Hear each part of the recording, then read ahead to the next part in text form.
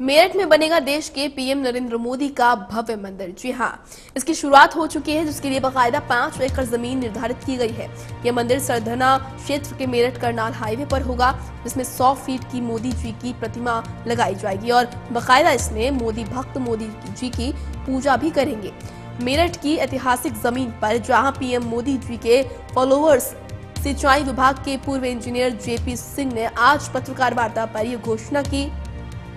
JP Singh की माने तो वो मोदी जी के कामों से इस कदर प्रभावित हुए हैं कि वो अब मोदी जी का मंदिर बनाने चाहते हैं। इसके लिए उन्होंने मेरठ, करनाल हाईवे पर पाँच एकड़ ज़मीन खरीदी है, जिसमें मोदी मंदिर का निर्माण होगा। इस मंदिर में सरदार वल्लभ भाई पटेल की मूर्ति की तर्ज पर मोदी जी की सौ फीट की मूर्ति स्थापित की जाएगी और भविष्य में संभावित है।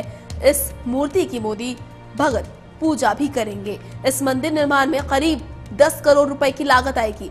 इस धन राशि को मोदी भक्तों से जुटाया जाएगा। हालाँकि इस मंदिर का भूमि पूजन 23 अक्टूबर को होगा, जबकि इसको बनने में करीब दो वर्ष का समय लग सकता है।